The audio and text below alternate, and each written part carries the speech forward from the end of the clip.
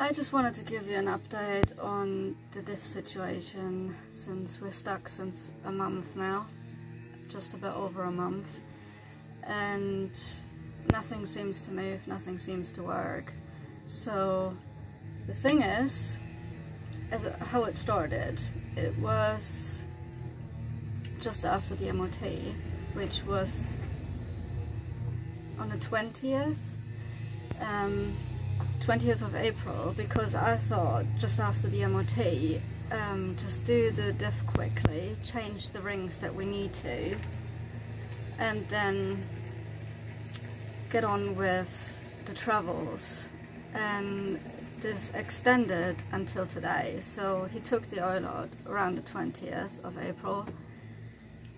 And since then we're standing. And we have the 24th of May roughly. So it's it's been a pain. It's been really really difficult. Um, he took it out. Then we measured things. Then I had to work so I couldn't look things up. Then um, the parts for because it was leaking. The, the reason why I wanted to take it out in the first place was because it was leaking and that meant the seal was broken and he said that at the beginning but he had to put it back in because we didn't have the seal at the first when he took it out first and replaced the pinion and crown. Um, so I got that shipped from Italy a couple of weeks ago, literally a couple of weeks ago. Um, and that cost me almost 70 bucks to ship this over for four shims for the inner side. I can't remember what they're called. They're like the half moon rings they look like. I'm probably gonna pop a picture up. Um, plus the seal. And the, the, the products all in all together were I think 49 roughly but the shipping was about 29 so yeah but they were here within three days so he fiddled around with it when it arrived. And I was super impressed that it was arriving so quick. I was like from Italy in three days. What? How is that possible? But yeah I paid 29 bucks for shipping. I, that's where it comes from. Anyways the um, situation after that, he was trying to put it back in and then he tried to um, adjust the pinion and the crown so they are level in the middle um, so they can roll like level in the middle. I can't really show how it, how it does it. Um, and that didn't work out with the paint we had because we tried it with just normal paint and obviously that doesn't work as well because it doesn't stick properly. So a week later I had to order wait. I had to order gear paint for him to be checked how to roll this and where the crown sits and where does it have to be. And I had to order this literally this. That was seven bucks I'm looking in that direction because I can see myself, but the camera is over here, so it's a bit confusing. But anyways, so, um, yeah, so that thing was seven bucks. And it lasts about two to three applications. And all you do is pulling that in, in between the um, crown and then roll the pinion over it a few times to see where the mark is. It's ridiculous. It's an absolute joke. Seven fucking bucks. Anyway, so we done this. Then he swapped the shims around that we already have in the diff. And that worked a bit. So the, the problem is with the adjustment of the pinion and crown with the shim rings is that you need a precise tool to measure them properly, um, how thick the shims need to be, and which side they need to go and whatnot. So that was a very difficult one.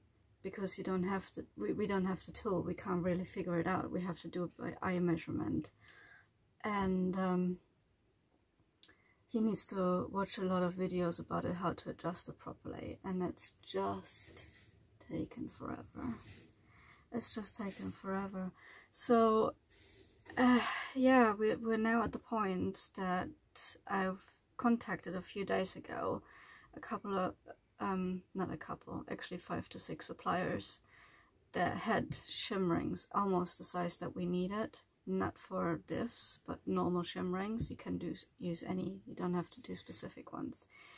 And uh, it turns out that none of them do specific sizes. I tried to get them to do specific sizes basically and they all said no we can't do that. We just stock the ones that we have on the eBay pages. And it's super frustrating. So we're now back to square one looking for shim rings it's not that we haven't found them. There are shim rings for this van um, specifically for this van Iveco shim rings and they cost literally 95 bucks for 11 rings just to adjust them you won't even use 11 rings you just need a few sizes to adjust it properly but these 11 rings cost 95 bucks plus shipping. And I'm like, I, I, that's not possible. This is, this is too ridiculous for me. I can't do that. Uh, so therefore I, I declined that situation from one supplier. I was like, no way, no, I'm not going to do that.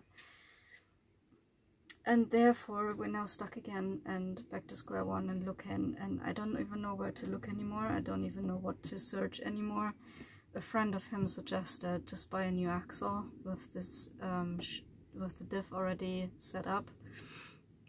Just buy a new second-hand um, a second-hand axle, and I don't want to do that either because obviously I paid 200 bucks last year for the pinion uh, just to get that shipped over, a new one, and. Uh, it seems to be an endless story now, really. It's it's really weird. I don't know why it's happening. Yeah, so that's that's the mumbling on about the story of the diff. Plus, um, we don't know how it's going to continue. It's the end of May, almost, and we haven't sorted it. And the spring situation is in a complete different story. That needs fixing too still, and we're still figuring out a cheaper way to fix the uh, springs properly so they're not lacking on one side. But that's another video. Um, anyways I'm gonna show you now how it looks underneath the van and why I can't drive right now. Right I'm now underneath the van and that's the diff so how we can say that's the pinion no that's the crown and the pinion is basically in the back here. If you can see that. That's where it's sticking out that bit. Uh, so we had to paint as you can see here a few of these and then roll it one round to see where it comes out from. And uh, it looks like it's still on that, that side which needs to be needs to be in the middle here. Um, yeah so that's the difficult part. I wouldn't have a clue how to do it but he knows a bit more. Obviously he's not an expert and he knew it's going to be very complicated uh, and therefore he didn't want to do it from the start but here we are um, because I can't pay the mechanic bill for people to do it for me and yeah so now we're sitting here for at least a month with the drive shaft out and the diff open. Uh, yeah, it's a nightmare. It's an absolute nightmare. But yeah, that's how it looks like. Yeah, as you can see, I'm not able to drive anywhere right now or anytime soon because we need to solve the shim ring issue. And right now I won't be able to look it up because I have enough to do with my job. But I hope in the next couple days I will be able to start doing something, search the internet again and see if I can find something else that's cheaper otherwise if there's the only solution that we have to pay 95 bucks for them then we have to because otherwise we won't be able to fucking drive. Um but yeah that's that's so far so good. So if you have any solutions if you see this video early enough if you have any solutions for this shim ring issue for the diff I would really appreciate it because we're basically stuck right now and don't know what to do um, figuring out where to get the exact sizes from. Um, all we need is really 0.5 and 1 mil and 2 mil shim rings thicknesses. And uh, we won't go in the hundreds of millimeters. Uh, but yeah that's that's so far the story and it's very devastating that we can't go anywhere luckily the seal fits and it's arrived and that's good.